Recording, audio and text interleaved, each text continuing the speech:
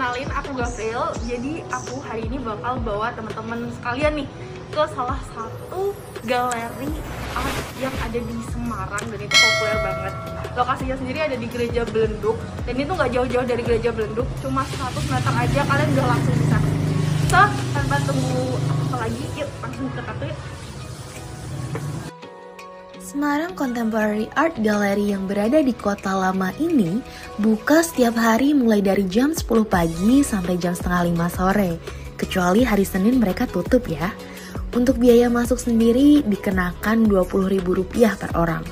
Dan pihak galeri juga membebaskan pengunjungnya untuk dapat mengambil gambar ataupun video dengan syarat tidak menyentuh secara langsung karya yang ada di dalam galeri ya teman-teman. Tempat ini juga sering disebut sebagai Semarang Galeri dan Galeri Semarang ini memiliki dua lantai.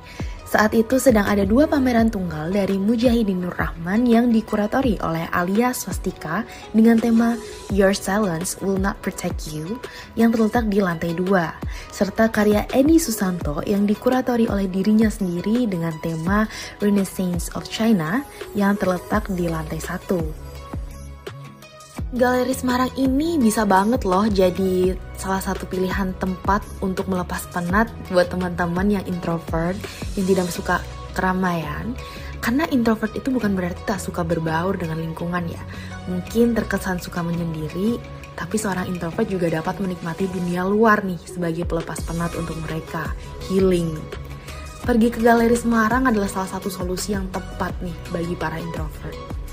Karya seni yang dipamerkan di dalam galeri Semarang ini tak lain berasal dari hasil tangan para seniman yang menyebar di seluruh Indonesia. Penataan karya seni dan tata letak yang estetik ini juga interior bangunan dengan warna putih yang mendominasi menjadikan galeri Semarang terasa lebih minimalis dan mewah.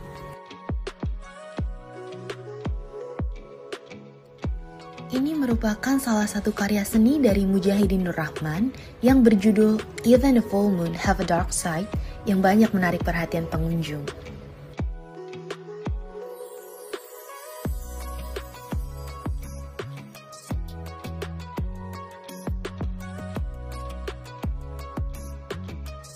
Tentu akan banyak karya-karya pameran dari seniman lain yang tetap terus mengisi keindahan galeri Semarang ke depannya dan pastinya tak kalah bagus dengan seniman sebelumnya. Jadi jangan pergi sekali saja nih ke Galeri Semarang karena seni yang ada di dalamnya tak akan pernah berhenti berkarya menghiasi tempat tersebut.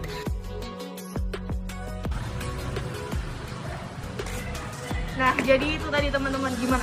Seru nggak? Apalagi buat teman-teman nih yang introvert dan gak mau berkerumun banyak orang kayak gitu. Ini tempat bisa jadi buat healing banget buat teman-teman. So, tanpa tunggu apa-apa lagi, langsung aja mampir ke sini. 诶过